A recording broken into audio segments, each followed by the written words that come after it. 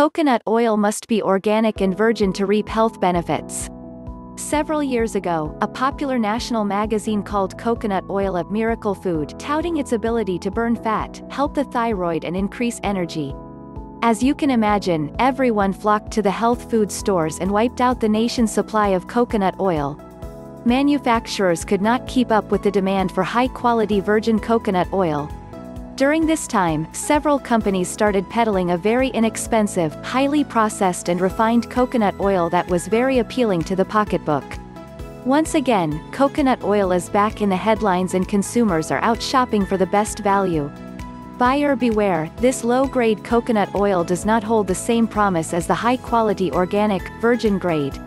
The low-grade coconut oil starts out with coconuts that are split and left outside in the open to dry out. Due to the high heat and humidity in the tropics, the coconuts are susceptible to growing mold and attracting germy flies. From there, harmful solvents are used for extracting the oil and more chemicals are used to bleach it back to its original white color. All the health benefits have now been destroyed and what is left is odorless, tasteless and bleached oil that can actually cause your body harm to consume it.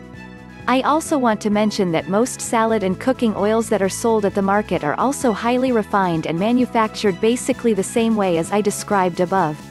Always make sure all the oils you consume are cold pressed, no chemical solvents or heat used, and preferably organic. To reap the health benefits of coconut oil, it must be organic and virgin. This means that the coconuts are organically grown without any pesticides or herbicides. They are then, hand, or, mechanically, pressed without the use of solvents. You end up with creamy, naturally white oil that has a delightful smell of coconuts. In addition to the fat-burning and thyroid-stimulating benefits that coconut oil has to offer, it also is known for improving conditions such as chronic fatigue, Crohn's, IBS, and diabetes to name a few. It is rich in lauric acid which has antiviral, antibacterial and antifungal properties. It is known to reduce the risk of heart disease and lower cholesterol.